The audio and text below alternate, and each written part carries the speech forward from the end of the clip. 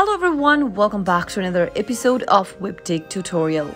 In today's video, I'm going to show you how to get long answers from Chat GPT. If you think the responses generated by Chat GPT is shorter than you expected, then you can always extend it a little longer. Simply keep watching the video till the end to learn how and don't forget to subscribe to our channel by hitting that subscribe button. Press the notification bell so that you'll never miss another upcoming upload from us. After ChatGPT has answered to your question and it has finally stopped, if you're not satisfied with the length of the answers that you are getting, you can always extend it by typing in continue or more in the text box. Soon after you do that, ChatGPT will continue writing for the same question that you asked that is how it can be easily done. If you want to get long answers from Chat GPT, all you need to do is to go ahead and type in continue or more and the chat will again start following up the prompt.